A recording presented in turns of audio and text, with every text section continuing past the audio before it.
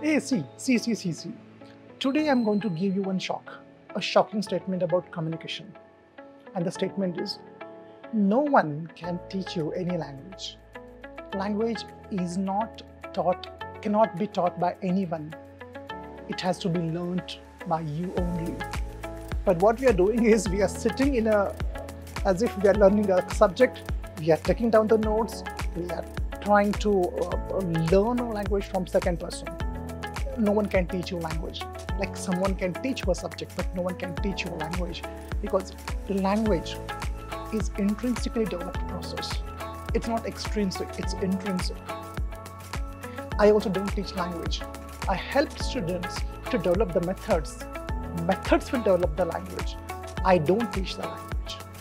So stop studying language and start creating the surrounding around you that develops a language.